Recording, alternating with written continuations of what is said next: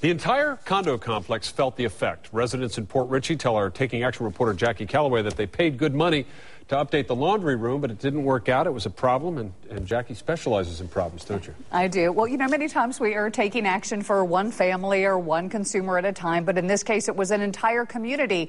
These people want what everyone wants to get what they paid for.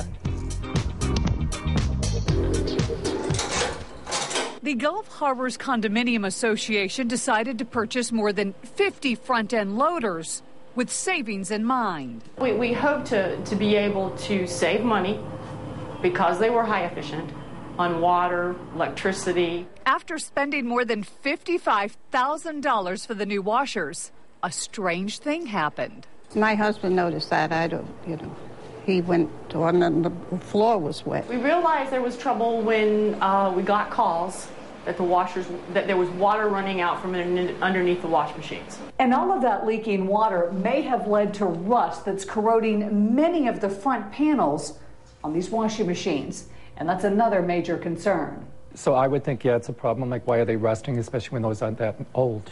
Property manager Susan Bedford contacted the retailer, and Sears sent a service team.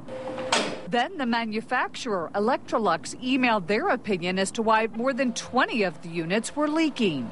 Their determination after that was that it was the, the suds from the soap. People were using the wrong soap. The Condo Association followed the manufacturer's recommendation.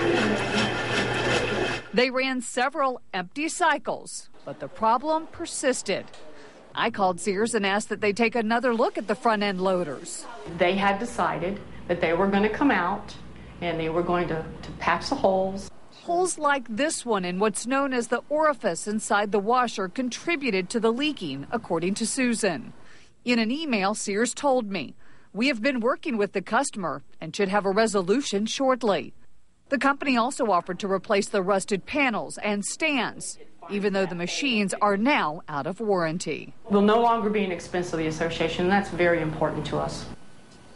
Now, I'm told that the work is ongoing and it should be complete within the next couple of weeks. Now, if you're having a consumer problem and you'd like us to get involved, all you have to do is pick up the phone. Our number here is 866 428 News, or just shoot me an email, Jackie at abcactionnews.com. Brendan? Thank you, Jackie.